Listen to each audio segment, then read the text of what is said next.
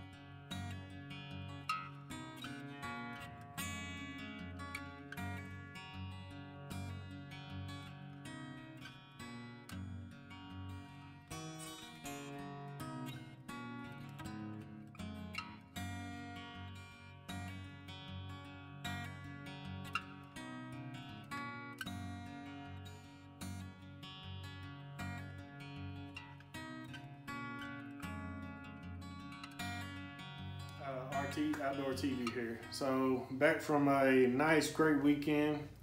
Thank you, Countryman TV, for the invite. As always, uh, great time.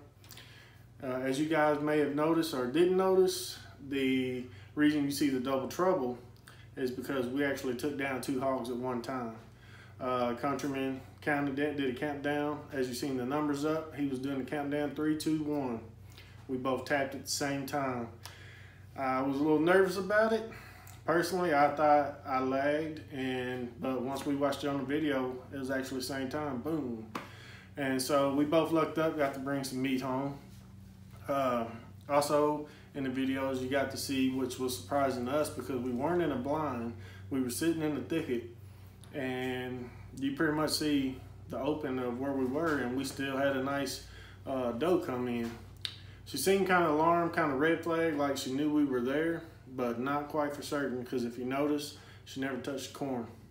She came in, she was real, you know, she hit it a couple of times when she first came in with her back to us, but once she turned from that point forward, she it was kind of like she knew we were there but couldn't prove it. Uh, I hope you guys enjoyed it. Um, soon, my next video uh, is going to be a hunting bloopers from us. Some of it may be uh, a little fake and some of it's real. but I hope you guys enjoy it as always with everything else that we bring to you. Uh, second video or my next video I'm actually bringing out will be about my kayak. I got a Vibe Seaghost 110. Um, had a trolling motor mount put on by Kevin, guy in Fort Worth. He's great, real good. I'll put him in that video, uh, his contact and stuff. But just how I run all my electrical and all that, that'll be the, one of the other following videos that'll come up. Just to let you guys know, I have disappeared for a little while. Uh, had an issue, they removed my cast, but I had an issue with broken arms, which I'm still trying to heal from, which is why I would have a lot more videos out, but because of the time I've been down for breaking my arm, I actually broke both bones. So now I have the metal plates. But uh, I'll be back out there soon and uh, getting out there and doing some fishing. I can't pick that kayak with one hand. so as always, thank you guys for your time. Thank you for watching. Anything, any questions or anything that you've seen that I've done and you would like for me to cover again, uh, leave me a comment. Appreciate you guys. Take it easy. Enjoy yourself.